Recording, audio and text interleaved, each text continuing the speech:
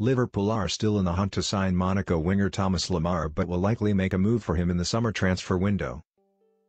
Arsenal also remain interested in the Frenchman and will wait until July to try and sign him as both Premier League clubs feel his price is too high at the moment.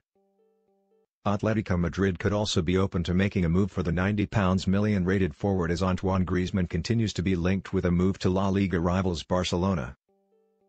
Liverpool and Arsenal remain interested in Monaco £90 million million rated winger Thomas Lemar. The 22-year-old is thought to prefer a move to England rather than Spain as he looks for a transfer away from Ligue 1. Despite the impending arrival of Henrikh Mkhitaryan, Arsene Wenger is still keen on bringing Lemar to the Emirates as the Gunners are still in the market for a young attacker. The North London side have been linked Boca Juniors star Cristian Pavón and Bordeaux's Brazilian midfielder Malcom, as they look to bolster their attacking line. However, Arsenal's fierce rivals Tottenham have edged ahead in the race to sign Malcom after the Gunners considered the 20-year-old to be too raw for his valuation.